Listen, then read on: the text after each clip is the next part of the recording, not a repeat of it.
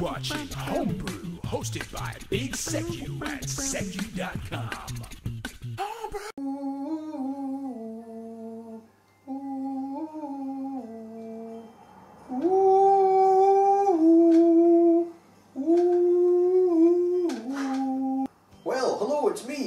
me, Big Q. Hiya, greetings and salutations.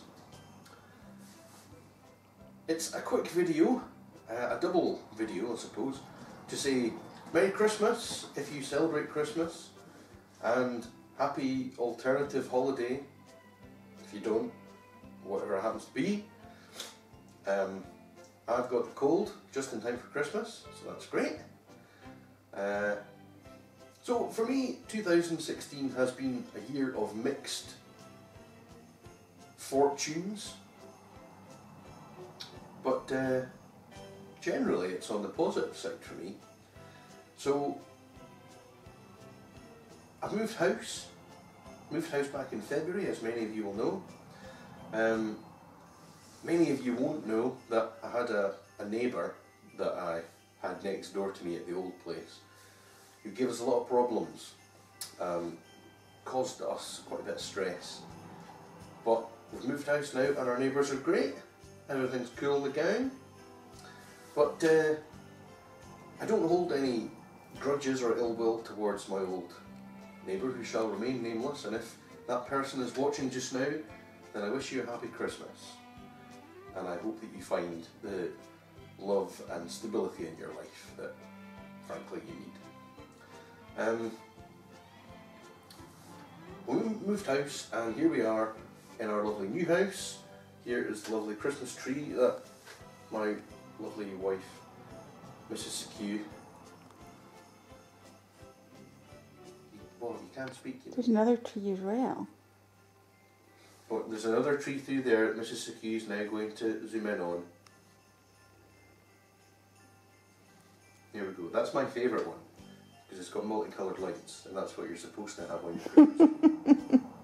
Whereas this one's just like a because that's the way she wants it Christmas tree. So also I attempted again weight loss this year with uh, mixed success, but I need to carry that on again next year. Um, been going to the gym and I'm going to start up a, a regular membership to the gym. This year, as far as brewings are brewings, as far as brewings are concerned, I brewed myself a red ale and let's see, there was a pale ale back at the start of the year here. That was the first brew in this house. A red ale, a stout, and I've just done another pale ale um, and a lager. I think I've successfully brewed the lager this time. Um, if you watched the Fermentatron video where I showed you the high-tech piece of equipment that I have in the garage that's specially designed for fermenting things, then uh, you'll have seen the big bucket of lager that I had. I bottled that up just last weekend, I think it was, and I think I had a little taste. I think I've done not bad. I think it's come out tasting like actual lager, so that's good. So by summer of next year, I'll be having barbecues with my own homebrew lager from scratch, just made out of malt and hops and yeast, so that's good. Um, and also recently, you may have noticed some videos that I've been putting up about sour beers and my faltering footsteps into the world of sour beer. Now, today I have a sour beer. Bing! There it is. Mrs. Secue, are you able to Yeah, Mrs. Secue has zoomed in. Okay, so it's a Cantillon. At least that's how you. I think that's how you say it. That's the brewery. brewers of Belgium's most authentic lambic, and it's a lambic, 100% lambic beer, and it's a, a Gueuze. I'm not really sure what a Gueuze is. It's 5.5% alcohol. Uh, the Gueuze Cantillon, a real spontaneous fermentation beer, is entirely made of made up of lambic. This lambic is brewed with organically grown wheat and malted barley with dried hops. The Gueuze Cantillon is a sour beer that contains absolutely no sugar, to be drunk preferably within 20 years after the bottling date. Beer with taste evolution. So there, there we go. Now, this has a, a crown cap and a cork in it. Not really sure why. Some kind of something specific to the sour style, I suppose. I've never had a Cantillon. I've never had a, a purely lambic beer. And for those of you who don't know what a lambic beer is, although many of you will, so this is a lambic beer. And for people who don't know what a lambic beer is, it means that it's fermented spontaneously using wild yeasts that are in the air. Normally, if you were making a beer, you would make your wort with mashing and boiling, and then you would add yeast as a, a purposeful addition to ferment the beer.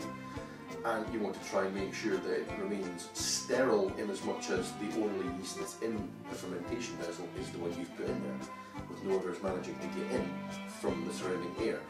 Whereas in this case, what they do is they make a wort and they put it into these big vats that are called coolships, which are made of um, brass. No, no, they're not made of brass, they're made of copper. Of course, they're made of copper. And they're left for 24 hours. They just soak up any wild yeast that's in the air. So essentially, what you get is a beer that is fermented using just it, the, the air around. So it's kind of like leaving a cheese out the, the fridge and whatever happens to land on it and grows mould, grows mould, and there you are. So let's give this a try and uh, we'll see what like. Right, so here we are. The Cantillon Gueuze, 100% lambic. Let's give it a wash.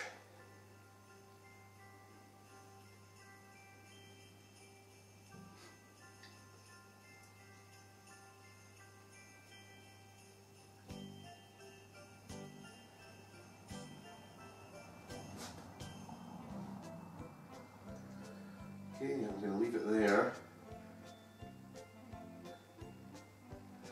Now, as far as sour beers are concerned, normally if this was a pale ale or an IPA or something, I'd put this into this glass and then I'd go swirly, swirly, swirly because I want to get a head on it.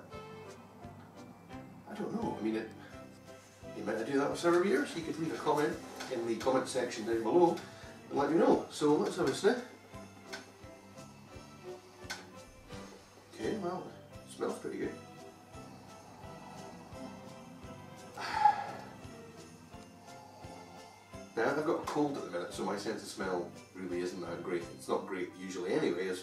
Regular viewers of the channel will know. So I can smell something. Fruity, I believe, but I'm not getting much. So I'm just going to dive in and watch for the eye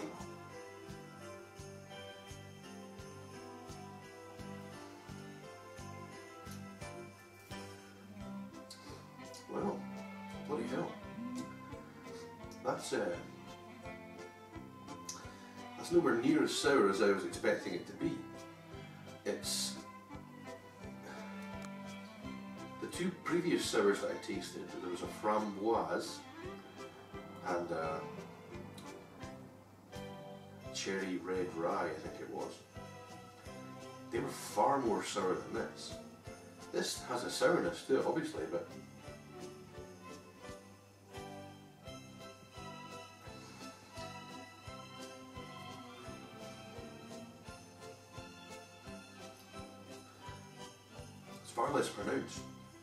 And um, you can definitely taste malt in there. There's a, a tartness that hits the tongue on the back, the, the, the taste receptors.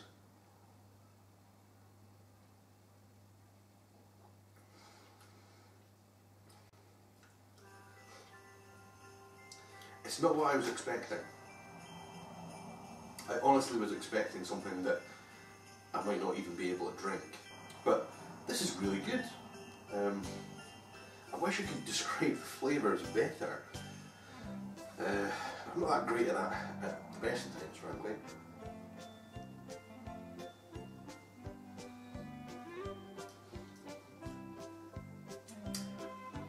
There is a really prominent mouthfeel to it. It's very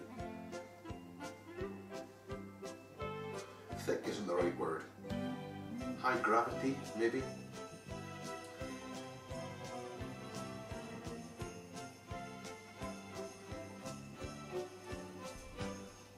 But if you're able to get your hands on some sour beers and you're not sure which one to try, this one's probably a pretty good addition for your first foray into the sour beer field. Pretty tasty stuff. Well, thank you once again for all your support during the year.